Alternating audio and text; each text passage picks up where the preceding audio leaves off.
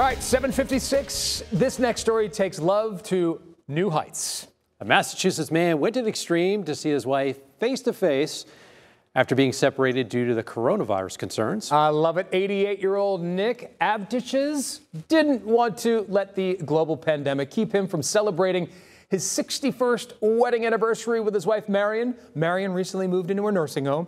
He had been visiting her every day until the coronavirus hit. So, a man volunteered to use his tree company's bucket truck to help him see his wife. The result Nick wearing a mask and carrying a handwritten love note to his wife, and he visited her through the window. Rapunzel, Rapunzel, let your hair down. Fantastic. Not let that get in the way. We've been together nine years. We got what, what 52 to go? You've never been in a bucket truck for me. Maybe. Hey, today